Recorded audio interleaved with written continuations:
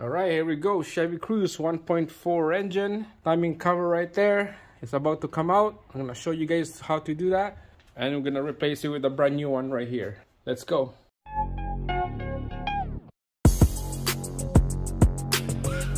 All right, here we go. Chevy Cruze 1.4 engine. We'll come back finally. So, old timing cover right there. And here's a new one finally show up took me about a month to get this in. Original GM uh, comes with a water pump of course I'm surprised. Comes with the brand new water pump thermostat with the thermostat housing uh, front crank seal and uh, we need the bolts and gasket. So right there this is uh, the old one you can tell. We're gonna have to take those old one out and then we'll replace it with a brand new one right there uh, what I did uh, earlier uh, I took the alternator off.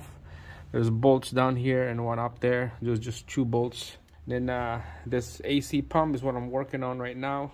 So let's start working on that. All right so taking out this AC pump it's kind of shitty because uh, the bracket to AC pump is bolted to the timing cover. I'll show you what I mean. So right here this hole right there bolts go in there for the AC bracket bolted to the timing cover. So here's the bracket, AC bracket, here's the AC pump. This is the bolt I'm talking about right there. So we're gonna have to take out the AC pump first, bracket, and then after bracket, we'll take out the timing cover. For this AC pump, there's a bolt up here and bolt underneath. And then there's a bolt at the back of this AC pump. I'll show you a diagram here all right so the third bolt the tool easy access is from up here behind the rad fan right there. Here's my ratchet 13 mil socket for that bolt to come out. Same thing on the front right there uh, 13 mil. All right gonna show you guys down here that AC bolt I'm talking about. Down here there we go all right so you see the socket right there? That's where the bolts right there that is gonna come out. It's easy to work on the top rather than down here. So I'm gonna take out that last bolt. That's the third bolt. That's the last one. And then this AC right here will come out and then I'll show you the three bolts to take out the bracket. And then see that little torque right there? There's a plug. That's the access uh, port to uh, lock your crank with the special tools. I'll show you that in a minute after we take out this AC.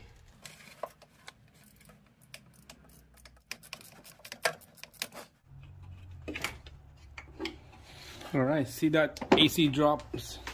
Finally, it's loose. All right, there you go.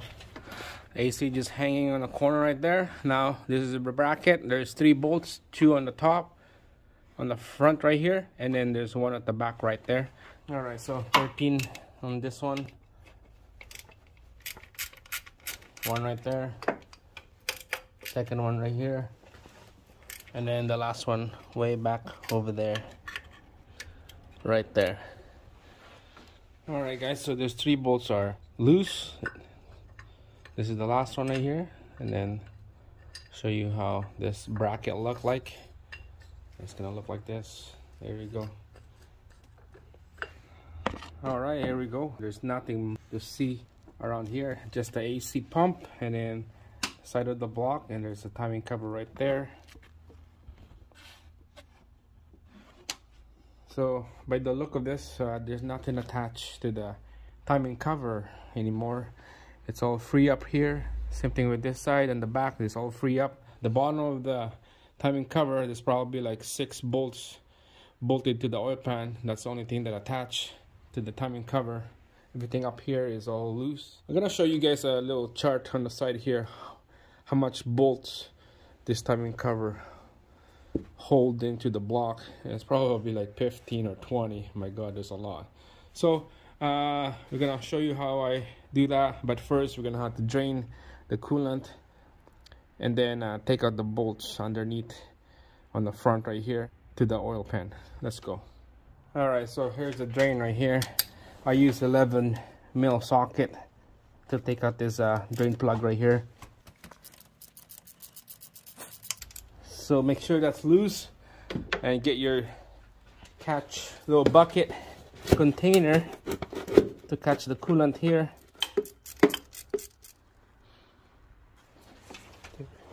All right here we go. Let's drain it out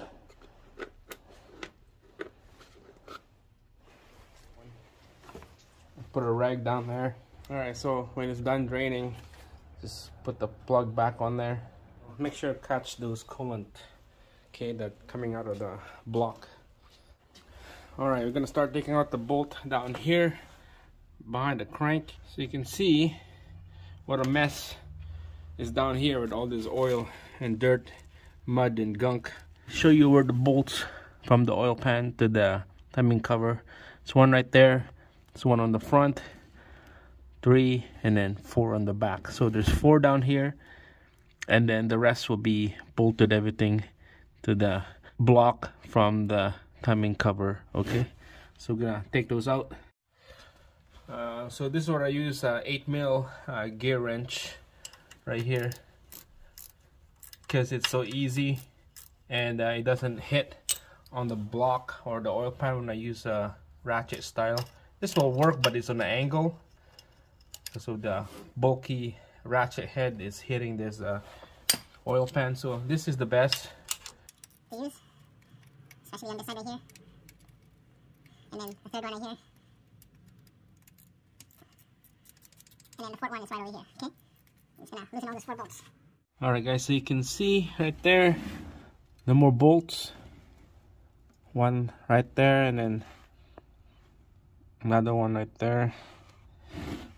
Those are the bolts down here for the timing cover.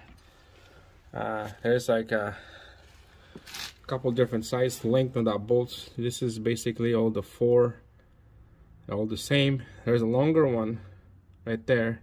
The longer one is it goes to that hole right there. And of course this little tiny one is uh, four from the oil pan to the bottom of the timing cover. Those are the only three different size of bolt link that you have to remember. The really long one right there make sure that those goes to that hole right there. And up to the top right here you're gonna be start working on this side all the way here. Same thing on the back all the way up there. Bolts to the front there's one right here let's crack that loose. Second one right there.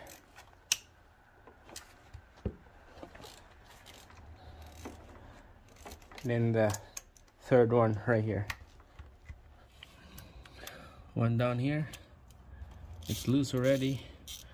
Earlier. Second one right here. Third. Fourth and the fifth the last one. That's it. All right guys so you can see all the bolts are off on this side here. Same thing on the back. They're all right there. All right so taking out this uh, front timing cover you just need the pry bar okay? Quickly show you guys where to pry there's a little spot on the front. This is the front cover. This is the back. Show you a pinpoint area to pry this uh, timing cover the one right here second one right there and then the third one right there. That's where you put your pry bar and then you just pry it open on the front and then to the back it's I believe one or two spot. Yeah there's one right there. Okay and then second one right there. All right so before I forget there's a couple bolts down here that you need to take out. Those two right there they are this different size. I believe those are 12 mil. Yeah. 12 mil on those two. You know just to make sure I use 11 socket on this two bolts right there.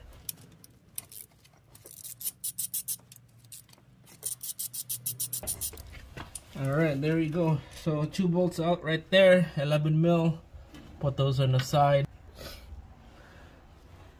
Everything right there for your timing cover bolts that's crazy. Those are huge. All right. So let's uh, take out this uh, timing cover now. All right. So uh, just quickly pry it from this side here. Get that thing loose. Okay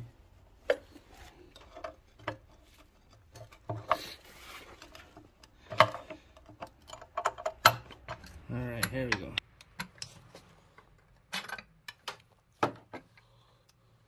So you can see timing cover is out.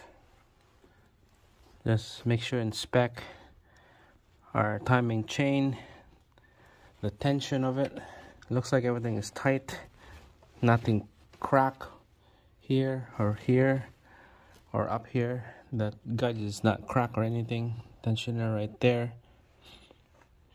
looks like everything looking good on that side. So quickly show you guys why I'm doing this job here. First of all oil leak is the main issue. I'm gonna have to change this front cover timing cover right there because of a couple things. First there's a crack right there on the old one.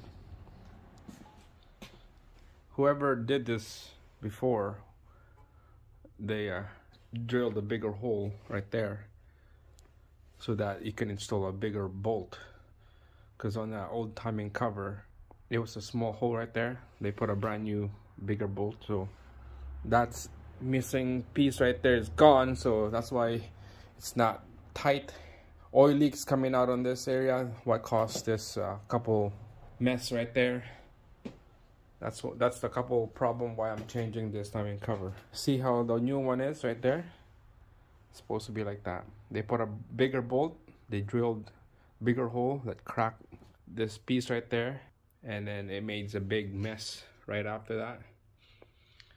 That's why I'm changing this old one to a new one. And uh, that part right here is supposed to be nice and clean no cracks. That one is crack those are the two main thing why I'm doing this job because of that. And uh, just realized that we're gonna have to take out this chain out because replacing this uh, timing cover you're gonna need to put brand new gasket. And the gasket here is behind the chain. So that's gonna be fun. Uh, while we're gonna do this we're gonna have to uh, double check make sure right after I take out this chain we're gonna have to double check make sure the chain link the distance the the length of this chain is uh, good. We're gonna compare the old length to our brand new chain link. Okay we're gonna compare those two. Make sure the old one is good. Make sure it's not stretch or anything. Um, the chain I believe just to buy is like 40 bucks or 50 bucks so we're gonna double check the old chain to a brand new chain. Uh, make sure this old chain is good. And I'm not sure the tensioner if that's maxed out stretch out to the max. Okay. I'm not sure if that's maxed out but uh, we'll take a look. Who knows? We might put a brand new uh, tensioner because we're here now anyways. It's all pieces. Mine just uh, throw in a couple parts in before we uh, close everything down and then get this thing running. Alright so those are the couple things that we're gonna do here in the next video. Uh, this video is getting long so that's it guys stay tuned for the next one. This is a good progress. Can't wait to get this thing done and then uh, give this to the owner of this vehicle. But for now like the video give me a thumbs up. We're gonna keep going show you guys how this thing work and how I replace this old part to a new part. That's it. Thanks for watching. I'll see you again on the next one